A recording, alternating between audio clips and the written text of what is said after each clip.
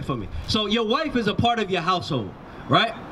So you are over the things that she's doing, right? So you have to guide her according to this Bible, according to the word, right? Read what you got. The book of Genesis, chapter 18, verse 19. For I know him that, This is speaking about Abraham. You know who Abraham is? Right, come on. that he will command children and his household. Wait, what will Abraham do? Command his children and his household. Right, so Abraham was a friend of God, right? Abraham was proven by God. Abraham was was was was was given a commission, right? And he displayed his faith by his works. Right? He set his house in order. That's what I'm telling you right now. Right? So do you think Abraham, knowing that his wife shouldn't work on the Sabbath, would allow his wife to work? He probably would try to make some arrangements, right? To to to to, to prevent his wife from breaking God's commandments. That's what you're commissioned to do as a man being the head of your household. Right? So I'm not sure of all the details of your situation. But I'm sure that you could make provisions to have your wife be off on Saturday in the future. That's what you need to do according to the Bible. You have to command your house just like our forefathers. You understand what I'm saying? Uh, was that it? All right, finish that. He will command his children and his household after So him. his children too. So your children's not exempt. That's all under you. When you understand in the order of a house. All right? Come on. and his household him, and they shall keep the way of the Lord to do justice and judgment. Right. So we have to keep the ways of the Lord so that us ourselves, you understand what I'm saying? So that us ourselves aren't disqualified. Because I become what if I'm teaching you to do something and I myself ain't doing it? What do I become? A liar, right? What else? A hypocrite. You understand what a hypocrite is? Right? So we got to make sure that our houses are in order so that we can command others. I'm, I'm not useful to my nation if my house is out of order. Right? I can't teach my people. I can't come out here and try to teach y'all and to build y'all up with a clear conscience if I know I myself, my wife, is working on the Sabbath day when she should be off of work. You understand what I'm saying? So you have to get your household in order so that you can be of service to your people. Right? Exodus chapter 20, verse 8, where we were. Uh, you can read it from the top. Come on. This is the book of Exodus, chapter 20 and verse 8. Remember the Sabbath day to keep it holy. on. Six days shalt thou labor and do all thy work. Read. But the seventh day is the Sabbath of the Lord thy God. Come on. In it thou shalt not do any work. Nothing. Come on. Thou, nor thy son, nor thy daughter, thy manservant, nor thy maidservant. Right. So even when you got people come up, sometimes you got family that visit you, right? They come to your house. You and your family, y'all not uh, uh, going to the store to pick up any groceries to make lunch. Why? Because you keep the Sabbath day. You made preparations beforehand, right? We'll get into that. On the Sabbath day, it's no buying, no selling either, right? No business. Did you know that? You knew that too. Okay, good, good. So on the Sabbath day, no buying, no selling. So you might have some some family come to your house, come visit you, right? If they come visit you at your house and they get hungry, and let's say they have a taste for some pizza, right? Are you gonna allow them to go out, purchase pizza, bring it back to your house? Say it again. Yeah, unfortunately. You said yes, unfortunately? It's your house though. It depends. It's your house. I don't think you understand what we read about Abraham. The Bible said that Abraham was going to do what to his house? He's going to put it in order. He's going to command it, right? So what you allow and disallow in your house, that's up to you. So you're going to be held accountable for the things that happen within your household. So if you have family over your house, they need to abide by the rules that you establish. Right. By the rules that you set up.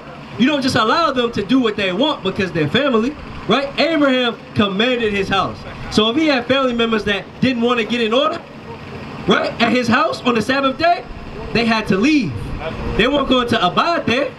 If they wanted to do that foolishness, that's on them. But they're not gonna, I'm not going to allow it to be done under my watch. You understand what I'm saying? So that's the same way you have to command your household. So when the Bible says that neither your your your uh read that part again.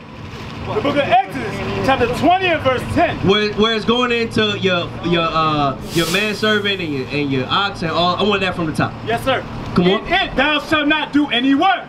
Thou, nor thy son, nor thy daughter, These are all a part of your household, right? Come on. thy manservant, Your manservant. So this could be uh, a visitor, a strange, so, someone, uh, a distant family member.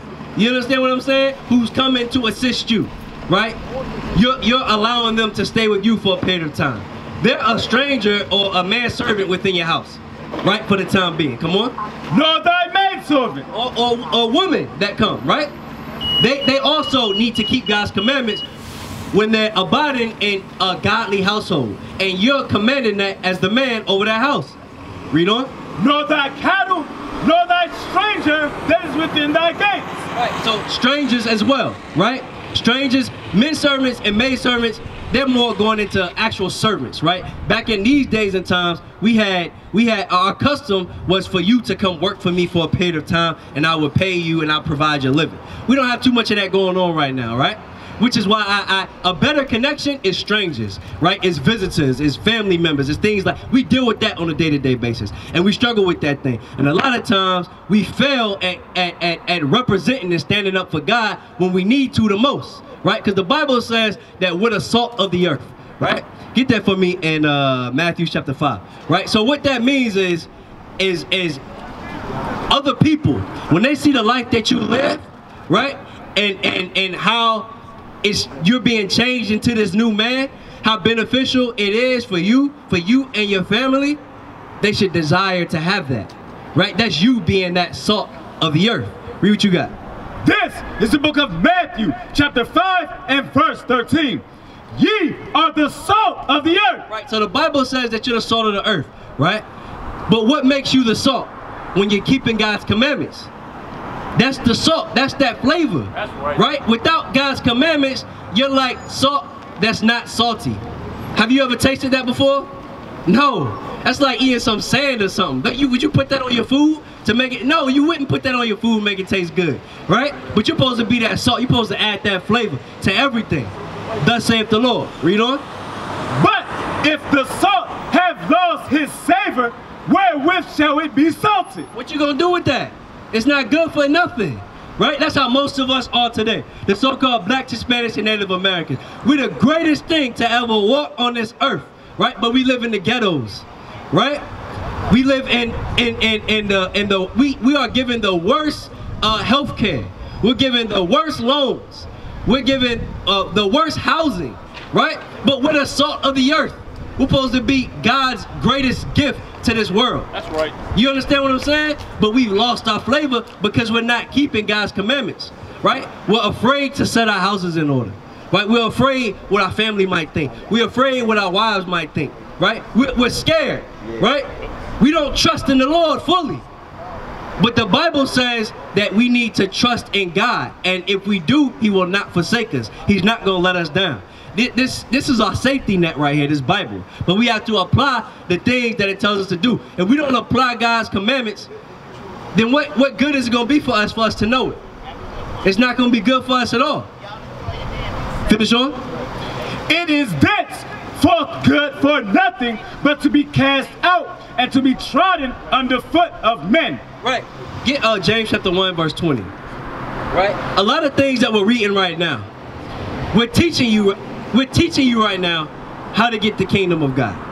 Alright? But you have to apply the things that you're learning. Now, did the brother already teach you the law on the beard? Yeah, he mentioned something about it. What did he tell you? You're not supposed to shave it. You're not supposed to shave it, right? Did you know that? Yeah, I did. Okay. James chapter 1, verse 20. The book of James, chapter 1, verse 20. For the wrath of man worketh not the righteousness of God. Wherefore, lay apart all filthiness and superfluity of naughtiness and receive with meekness and in Verse, verse 22. verse 22. But be ye doers of the word, Hold on, what does the Bible say? but be ye doers of the word. What's that mean? Be a doer of the word. do. You, you do what the law says. But I'm asking you things that you already know, Yeah. but you're not doing them. Come on. and not hearers only. And not what? Hearers only. Right. So a lot of times you'll get people to pull up and just listen to what we're teaching because it sounds good and they agree it's positive. Right? We used to hearing negative things.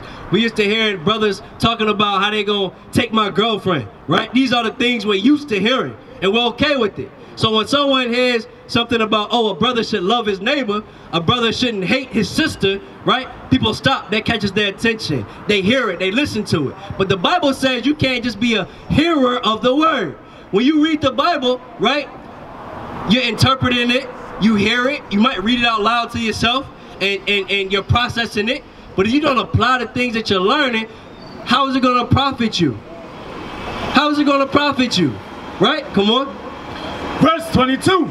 But be ye doers of the word and not hearers only, deceiving your own self. Wait a minute. Who are you deceiving? Deceiving your own self. So the Bible says that you're deceiving yourself, right?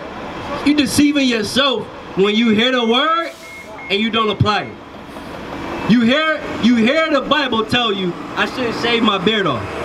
I hear the Bible telling me that. I shouldn't shave my shave my beard off. But somehow you go to the barber the barber shop and then you ask the guy to give you a haircut. You get your haircut at the barber shop. What you tell the barber how you want your haircut? Uh, a little bit lower on top. What about your face? No, I don't let him do that. You who does your face? You do it? Okay, so in the morning you wake up, you put the shaving cream on. How you shave your face? Pretty much like it is right now. You use the shaving cream on the clippers or what? Yep, shaving cream and razor. Shaving cream and shaving cream and razor. So the Bible says don't you don't shave your face. You understand? You read the Bible, you understand that.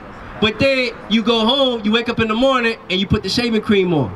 Right? Do you have to shave your face for your job? No. So why do you do it? Sometimes it really bothers me. It really bothers you. Uh, And it gets really bad. I want the Bible dictionary. Officer Jonathan, when you get a chance, I want a Bible dictionary, all right? And I want beard in the Bible dictionary, all right? Read that again. James chapter 1 verse 22.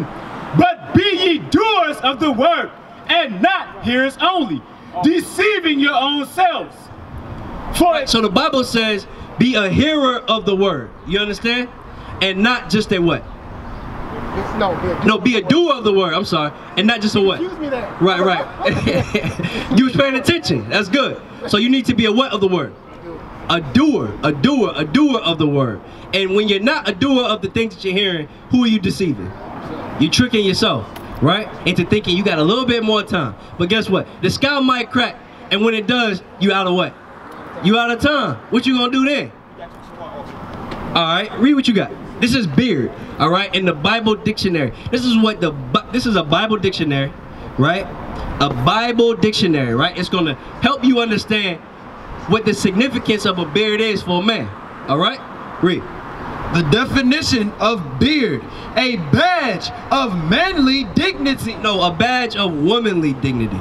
A badge of manly dignity. You understand that separates you from being a woman. Your beard, right?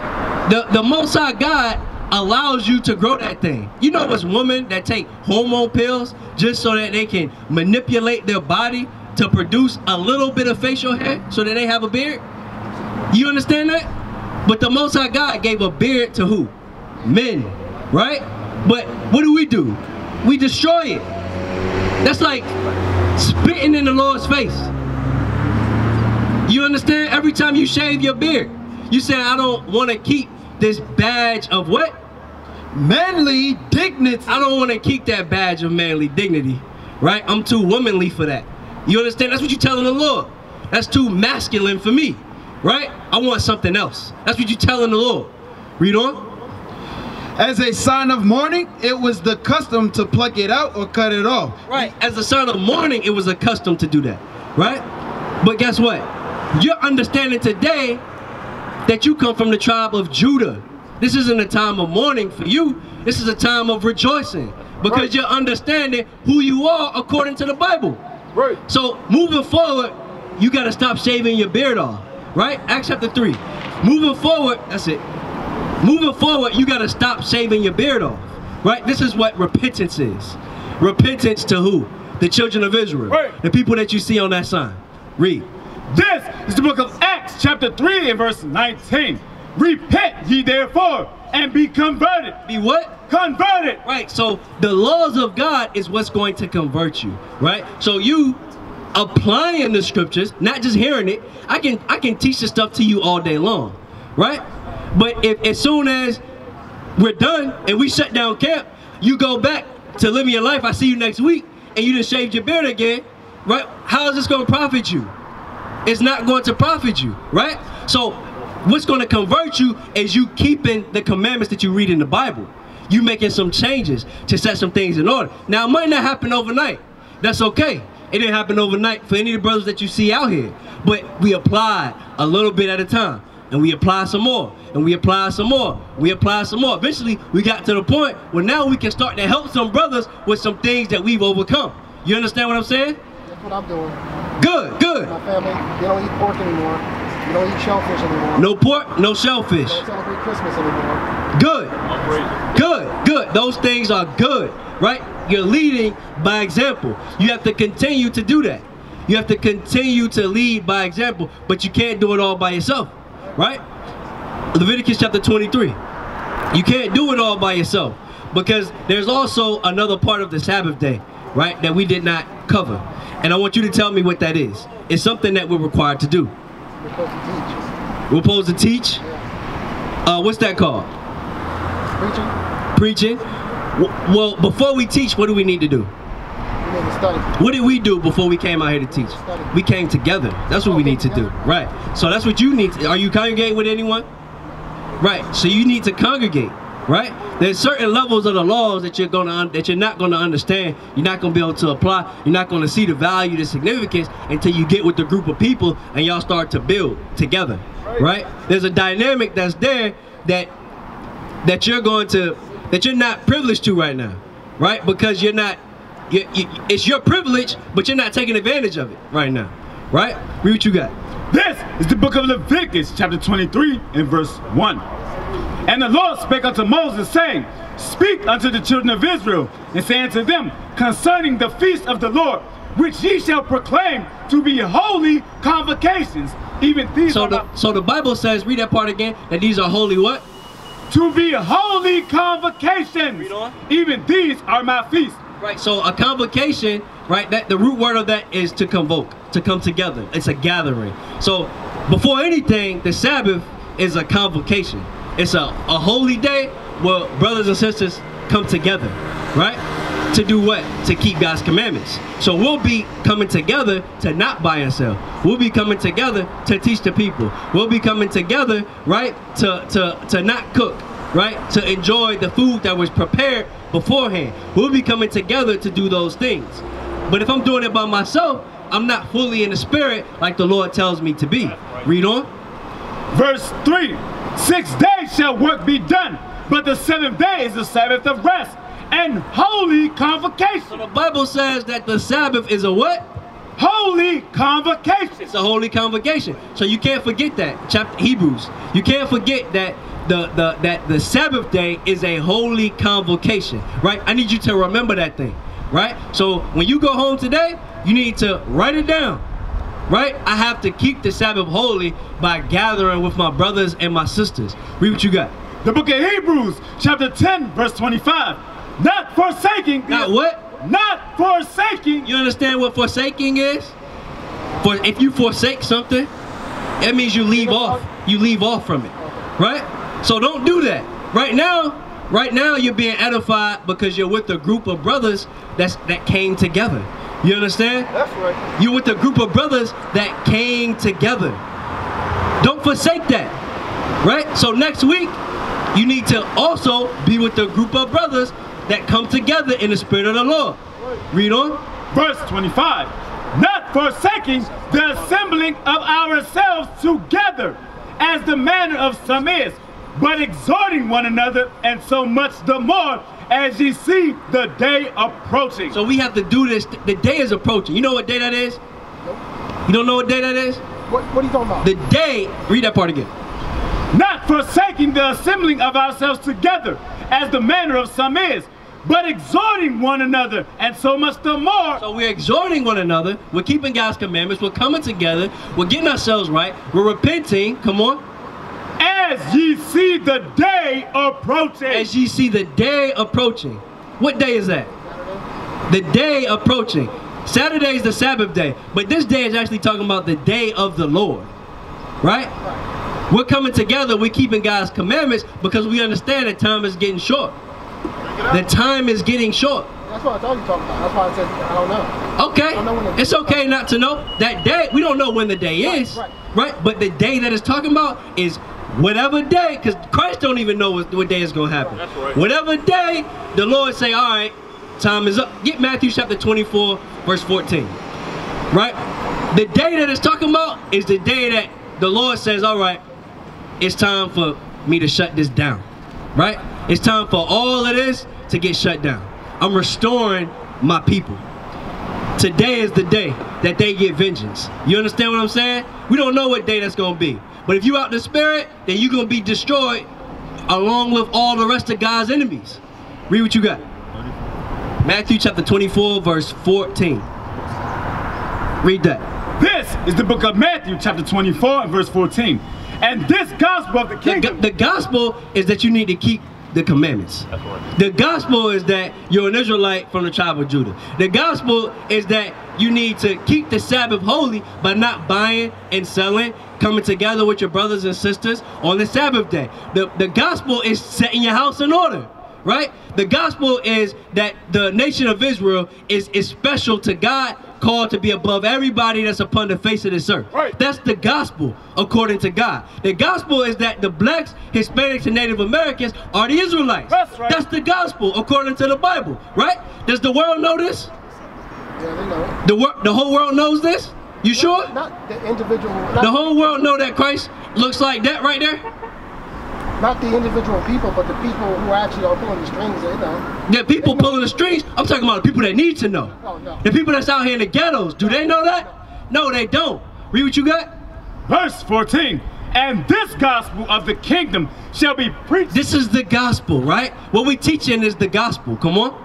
In all the world. This gospel gotta go to the whole world. It gotta go to the four corners of the earth, everywhere. The Israelites are. This gospel gotta go there, right? That's why we're teaching in different countries. We're setting up in different continents. You understand? The same message is being preached. The same signs that you see today. The time is getting short. That's what we're trying to tell you. The time is getting short because you're standing out here right now. A few years ago, you probably didn't have this gospel so readily available to you as it is right now. You can go on YouTube, it's thousands of videos teaching the exact same thing. Read on. For a witness unto all nations. And then shall the end come. And then the end will come. This gospel is going out everywhere right now. So we understand that the end is coming quickly. You got to stop breaking God's commandments. You got to stop doing that. You know what the scriptures say. You know what the Bible say, right? You got a flyer. What's the address on the back of the flyer? Right down the street. It's right down. You live here? What? You live in Hampton, but it's right down the street. Right right over that bridge right there. Oh. That's where it is. Right over there. It's on 23rd Street, right across from the police station. So we should see you next week, right? We should see you today. Right? That's right. You got time today to come to the school? No. You don't have time today. What about next week? I should. You should. You should make time to come keep the Sabbath day. That's right. You right. understand? Joshua 24, 15. Joshua chapter 24, verse 15. That's what I want. That's it. uh, choose ye this day? Yep, I think that's it. So, brother, you gotta decide what you gonna do. You understand? If your family's gonna get in order, it's not gonna be until you do it. You can't wait on them to do it with you. You understand? You gotta do it. And whether they do it or not, that's gonna be up to the Lord. But you gotta set yourself in order so that you can have a system set up for your family to follow. Right. Without that, you just talking, bruh. You just talking about things that you heard. That's all you're doing. Read. The book of Joshua, chapter 24, verse 15. And if it seem evil unto you to serve the Lord, Right. Is, is this an evil thing? What we teaching right now? It's not. It's a good thing. Read on. choose you this day. The Bible says, choose you your family. Choose you this day. The Bible says, what you gonna do? I'm talking to you right now. I'm talking to you right now. Right? Your family might not be able to make it today. That's okay. What are you gonna do? You're the man of your house, right? You set up above everybody. You've been commissioned. You've been given that authority. That's God given. Can't nobody take that away from you. As long as you live on this earth, that's your household. Read on. Choose you this day whom ye will serve. Come on. Whether the gods which your father served, that Are, are you going to continue to break the Sabbath day, to shave your beard, to allow your wife to work on the Sabbath day? Right? That's worshiping other gods. That's idolatry that you're in the midst of. Right? Are you going to continue to be in the midst of that? Come on. that were on the other side of the flood, or the gods of the Amorites, whose land ye dwell. But as for me and my house, Hold on, hold on, hold on. What did Joshua say? but as for me and my house, So Joshua said, as for me first, and for my house that I'm over, what what, what you think he said he gonna do? Come on. we will serve the Lord. He said, look, I'm gonna serve the Lord and my family gonna do it too. Bring it out. That's what he said. I'm gonna serve the Lord and my family is gonna do it too. Right? He didn't ask his family, is this something y'all wanna do? You understand what I'm saying? He said, this is what they're gonna do. Right. If they chose not to do it, they was gonna get put to death. If not now, then later. You understand? That's the same spirit that you gotta roll in if you're gonna be a leader and you can't do it by yourself. You need other brothers that's setting their houses in order right along with you. Everything is against you right now. There's nothing in this world that's teaching you how to effectively build your family up. Right. There's nothing doing that. You need other examples of other brothers that's applying the commandments that we read about in this Bible in order to do that.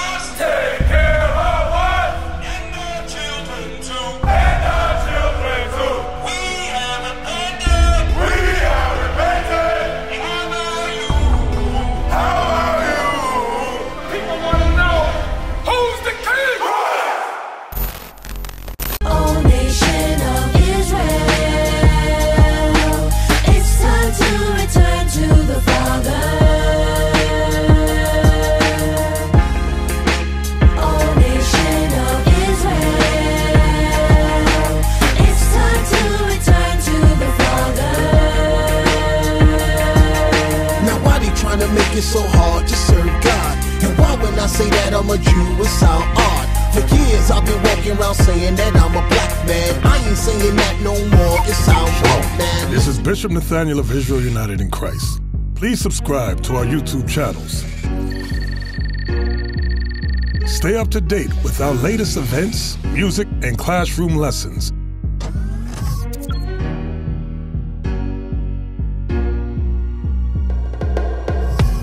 IUIC plans to continue visiting different countries where this gospel has not been preached before. IUIC needs your help in pushing this truth.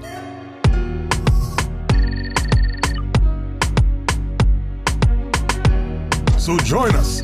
Subscribe to our Instagram, Facebook, Twitter, and podcast and stay up to date with us.